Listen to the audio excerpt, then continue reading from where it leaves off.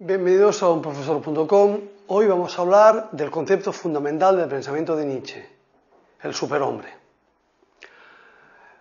Nietzsche, cuando criticaba los valores occidentales, estos culminaban en la muerte de Dios, es decir, la necesidad de echar a Dios de nuestra sociedad. No basta con que Dios no exista, tenemos que matar a Dios. Esta muerte de Dios es necesaria para introducir un nuevo concepto, que es el superhombre. Pero hay que tener presente elementos fundamentales como el hecho de que el superhombre no es el hombre más hombre de todos los hombres, sino todo lo contrario. El superhombre es la superación del hombre. No olvidemos que en esta misma época, estamos hablando de la segunda mitad del siglo XIX, aparece el pensamiento de Charles Darwin que afirma que las especies van evolucionando debido a que los más adaptados son capaces de sobrevivir y los que no se adaptan acaban desapareciendo. Por lo tanto, las especies no son estáticas. Esta idea, Nietzsche la transforma en la idea siguiente, ya no una idea biológica, sino una idea moral. La mediocridad del ser humano, que es un ser a medio hacer, a medio acabar, debe finalizar con la superación del ser humano y la creación del concepto de superhombre. Esta transición entre el hombre y el superhombre tiene tres estadios. El hombre camello, que soporta la carga terrible de la falta de libertad. El hombre león, que lo que hace es sublevarse contra esta falta de libertad. Y el hombre niño, que tiene todo el futuro por delante porque ha sido capaz de crear una nueva realidad para él como elemento fundamental. Las características que posee el superhombre, aquello que hace que el superhombre sea la superación del ser humano, en primer lugar tenemos la libertad instintiva. El superhombre es un ser que vive aislado, que es autosuficiente y que vive según sus instintos.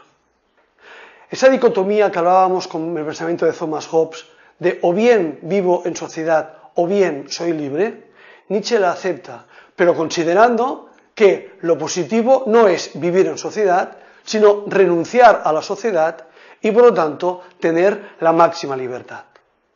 Esta libertad, además, entendida como vivir según nuestros instintos, es decir, hacer aquello que sea propio a nuestra naturaleza y no castrar y no coartar nuestra libertad en función de unos conceptos sociales que lo que hacen es no dejarnos, no permitirnos ser como realmente deberíamos ser.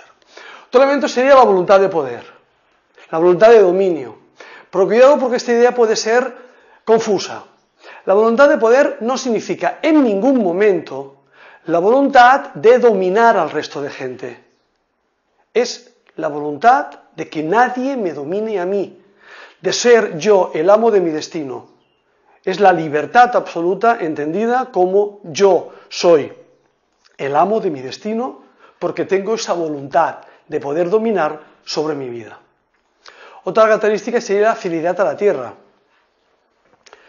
Esta idea de que existe una vida después de la muerte es considerada muy negativa para Nietzsche. Nietzsche afirma que solo existe la vida terrenal y que más allá no existe nada. El superhombre es consciente de ello. Además, el superhombre desea el eterno retorno. Es decir, que una vez nos llegue la muerte, en lugar de tener otra vida, si se plantea esta posibilidad de continuar viviendo después de la muerte, lo que el superhombre desea no es tener otra vida, sino repetir infinitud de veces la misma existencia. La perfección, para que continúe siendo perfecta, no debe variar. Pues bien, el pensamiento de Nietzsche va en esta línea. Si somos capaces de conseguir una vida perfecta, plena, llena de contenido, no queremos cambiar nada de esta y por lo tanto, ante la posibilidad de vivir después de la muerte, lo que el superhombre desea es el eterno retorno. Os invito a que veáis en la página web de unprofesor.com. Ahí encontraréis actividades y cómo poneros en contacto conmigo por si surge alguna duda. Muchas gracias.